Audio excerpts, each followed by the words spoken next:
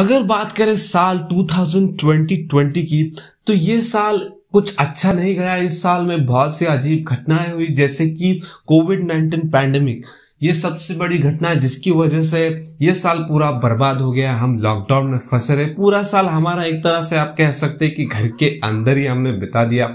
और ये साल अभी खत्म हो रहा लास्ट मंथ बचा है। लेकिन कुछ ऐसी स्पेस में घटनाएँ हुई, जिसे हम हमेशा याद रखेंगे। जैसे कि सोलर एक्लिप्स सोलर एक्लिप्स, यानी कि सूर्य ग्रहण। तो इस साल का आखिरी सूर्य ग्रहण 14 तारीख को होने जा रहा है। और ये ग्रहण हम कहा से देख सकते हैं? क्या ये इंडिया से विजिबल है? इंडिया से हम इसे देख पाएँगे या नहीं? तो इस वीडियो में डिटेल में जानेंगे। तो इस वीडियो को आखिर तक ज़रूर देखिए।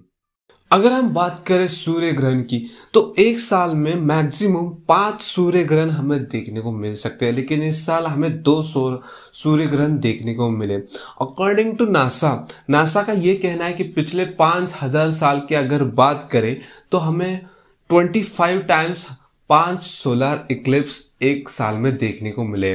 और लास्ट पाँच सोलर इक्लिप्स कौन से साल में हमें देखने को मिले थे?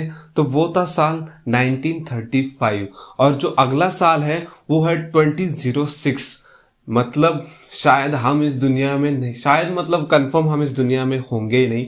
हमारी नेक्स्ट जनरेशन और उसकी नेक्स्ट जनरेशन शायद देख सके। तो खैर, ये तो फ्यूचर में होगा, लेकिन अभी हम बात करते आने वाले सोलर इक्लिप्स यानी सूर्य ग्रहण के बारे में, जो कि चौदह तारीख को फोर्टीन दिसंबर को होने वाला है।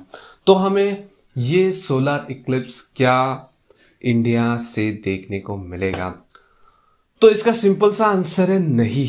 हम इसे इंडिया से नहीं देख सकते, क्योंकि जब ये सूर्य ग्रहण हो रहा होगा, तब हमारे यहाँ टाइम होगा साढ़े नौ नौ से साढ़े नौ रात के।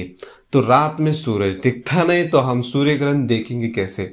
और जब तक सूरज सूर्य ग्रहण खत्म होगा, तब तक रात के 12 से 1 बजे होंगे। तो इसका मतलब हम इस सूर्य ग्रहण को नहीं देख पाएँगे। तो ये साल का आखिरी सूर्य ग्रहण है। पिछला जो सूर्य ग्रहण हुआ था, वो जून में समथिंग हुआ था जो हम इंडिया से देख पाए थे, लेकिन इस सूर्य ग्रहण को हम इंडिया से नहीं देख सकते। तो ये एक बैड न्यूज़ आप कह सकते हैं। लेकिन ये साल का आखिरी सूर्य ग्रहण है तो इसीलिए मैंने सोचा कि इस पर एक वीडियो बनाया जाए। ये सूर्य ग्रहण अब हम इंडिया से तो नहीं देख सकते, ये पॉसिबल नहीं है।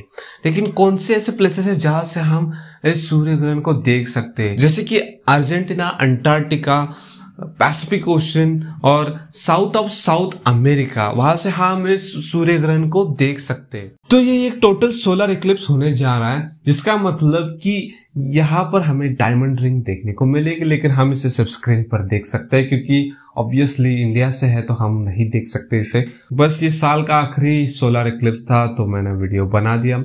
होपफुली आपको वीडियो पसंद आया इन्फॉर्मेशन पसंद आई होगी।